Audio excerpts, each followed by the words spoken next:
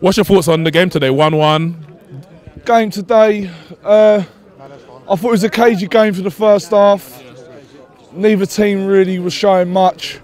We showed a bit more ambition in the second half. West Ham, they they uh, done what they came to do. They tried to nick the goal and keep the lead. At, at that point when they got the goal, were you thinking?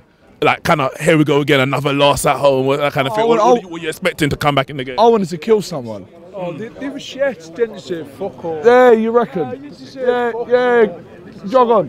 Doing it in front of old Bill. what a dick talking in front of old Bill like that. You had I think was it two or three goals disallowed? Um, I don't know from where you saw them, but we, it was a bit unlucky. Our, our angle was a bit shit, but I, what, what did you think from the Um, Fernandes goal? We- we- well, I think it was a, it was a handball. Uh, Andy Carroll in the game. I was going to say, surely it couldn't have been offside because if we're in that position.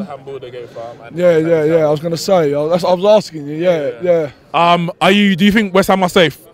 Um, if e- e- even with a win, I would have been a bit questionable, but with the draw, I think we'll be all right. But The question is, can Stoke or Southampton get enough points to catch the people above? That's that's really the question. because I, 'cause I, I, I think with Palace's run, they've got a good run, Palace compared to us.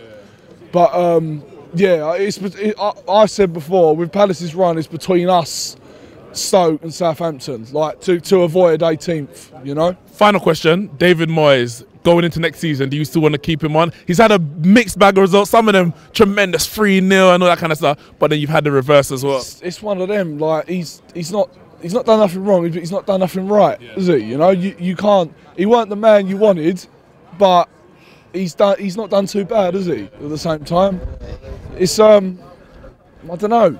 I really, I'm re- very mixed on it. To be honest with you, if, if they, Fucking bollocks point that from West Ham. Yeah, do it in front of old Bill, you wanker. do it in front of old Bill. He's a bad man.